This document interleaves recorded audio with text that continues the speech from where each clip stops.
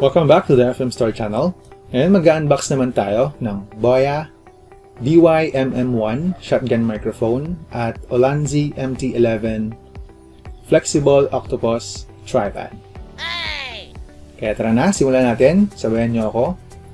Una, mag-unwrap muna tayo ng parcel from Lazada.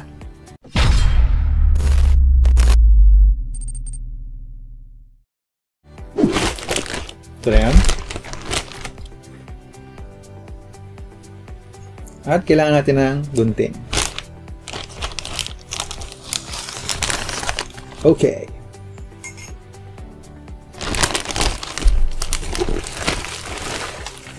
Ah, ito na siya.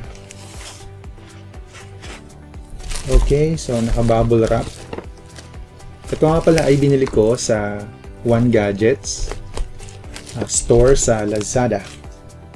Okay, so kunting ulit.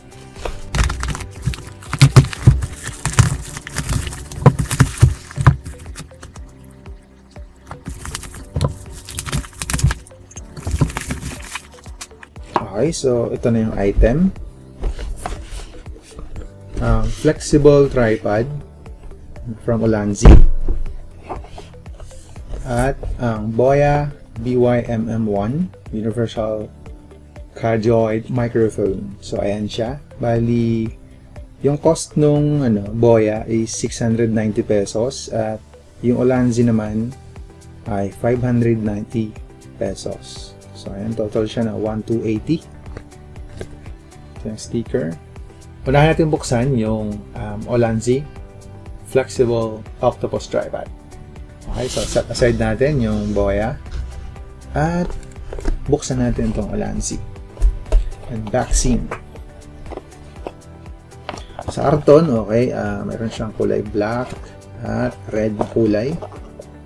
NT11. Okay, so tingnan natin. Yan. A small brand focusing on phonography. Olanzi Flexible Tripod. Okay, so buksan natin.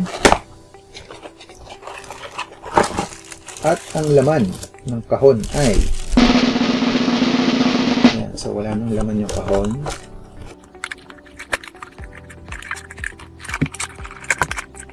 Tabi natin ang kahon. At ayan, naka-plastic siya. So, alisan na natin sa plastic.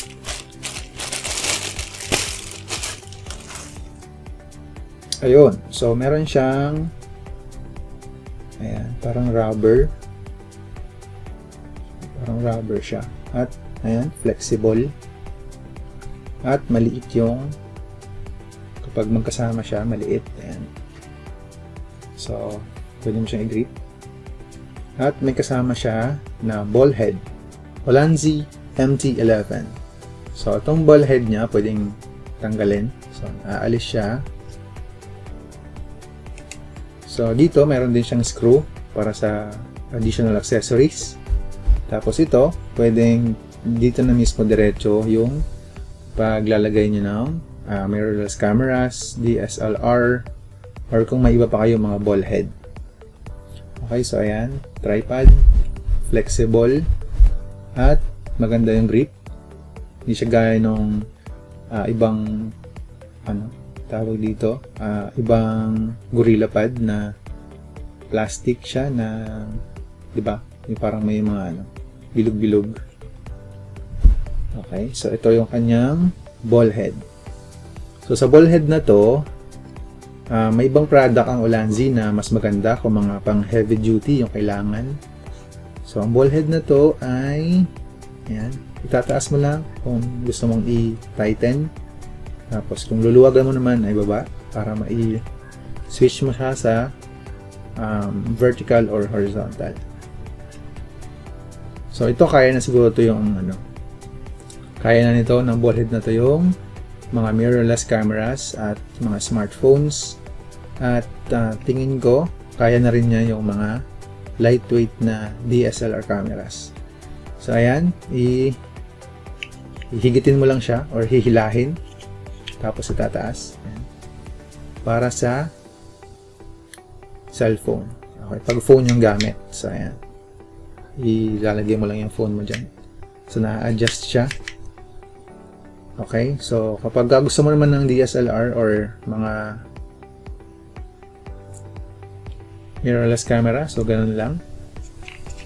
Okay, tutupi lang, then hihilahin at i-clip para mag uh, fit para hindi siya gumalaw.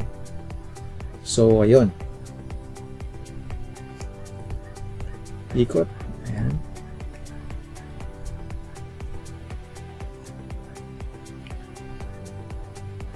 At himpitan. Okay. At ibalik.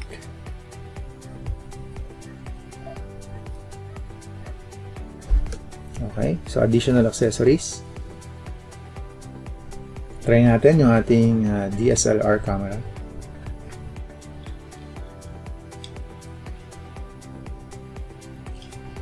So, kaya yung aking ano, kaya yung aking uh, DSLR na EOS T6.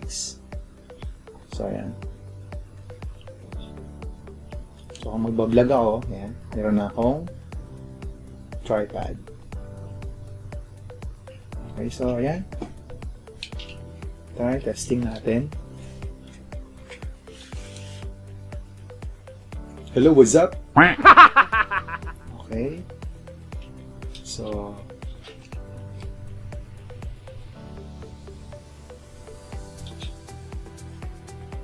pwede rin naman nakatayo. At ang weight pala nito, kaya nito ang kahit mga 2 kilograms. So, ayan. So, nakatayo siya. Bukan natin. Flexi. Okay, so ayan.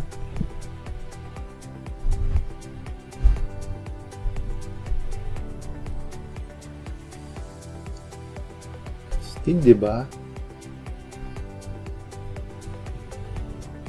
Alright. Ayos.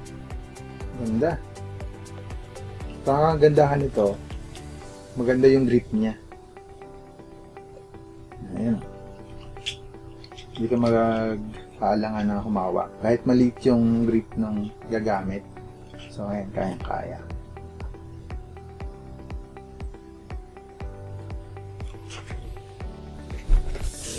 Okay.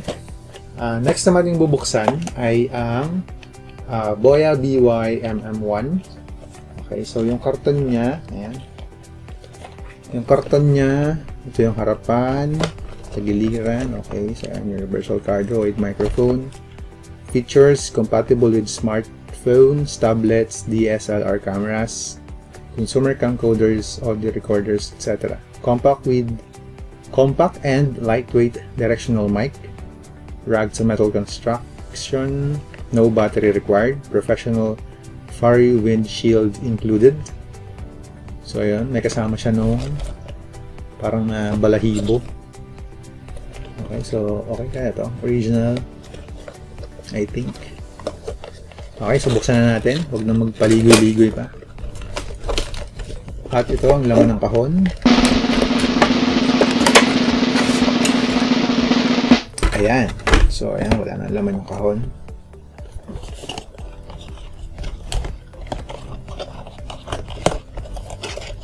Balik natin. Set aside natin yung kahon. Wow! Okay, so sa ilalim ay mayroong kasamang user manual. Sino ba sa atin yung nagbabasa ng user manual? Parang wala, no? Ayan, so instruction manual, features, specifications. Okay, so kung bibili kayo, ayan.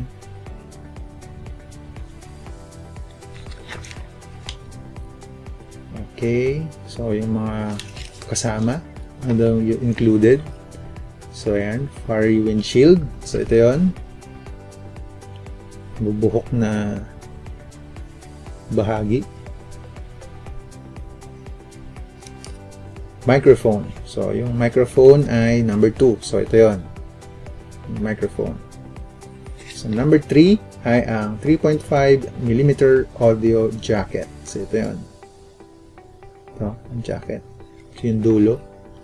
Number 4 ay yung shock mount. So, ito yun. Ito yung nilalagay dun sa taas ng DSLR cameras.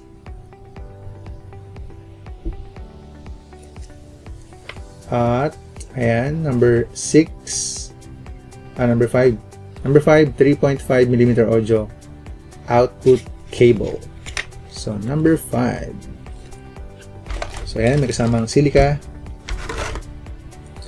At, ito yon Ayan, ito yung number 5. So, yan yung 3.5 millimeter audio output cable. Number 6 ay ang uh, 3.5 millimeter 3 uh, to TRS audio output cable. So, ito yun. Okay, then number 7 I am 3.5 millimeter to TRRS audio output cable. So, it's a yun. Okay. Saan ba? So, ayan. Alright. Ano pa kasama? May kasama siyang ayun, pakete. So, ito yung pakete. User manual at ano pa to? Um, wala akong maintindihan. Warranty, policy. Warranty card. Okay, so user's manual, instruction manual, warranty card, ayan, silica joy, gel, silica, silica gel, at yung 3.5mm cables, um, shock mount, okay, uh, microphone with uh, furry windshield at yung kanyang lalagyan. Okay, so may tatak siyang boya. So, pag nasa travel kayo, so ito yung lalagyan. Okay, so yun lang yon. Ngayon, ito try naman natin siya na ilagay doon sa ating um, DSLR camera. So, hanggang may mic na kayo, dito yun siya nilalagay. So, yan. Para sa kompletong panghigpit. Okay. Para hindi siya matanggal. And then, yung iyong microphone. Ayan. At yung kable. So, ayan. Dito yung kinakabit.